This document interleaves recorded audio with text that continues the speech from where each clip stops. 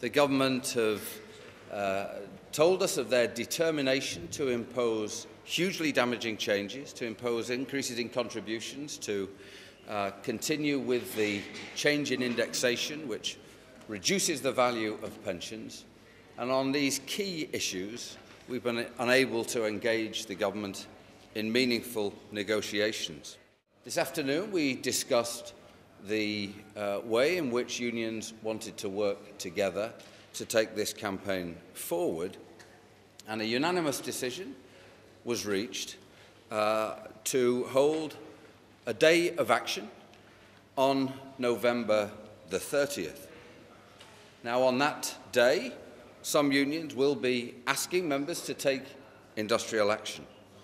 Others might want to show support in other ways, through lunchtime meetings and rallies and events that bring public service workers together with their communities in a united call for fairness. And undoubtedly, this will be, uh, if we don't achieve a settlement to avert this, this will be the biggest trade union mobilisation for a generation. And further considerations being given to what other actions might be appropriate beyond that day of action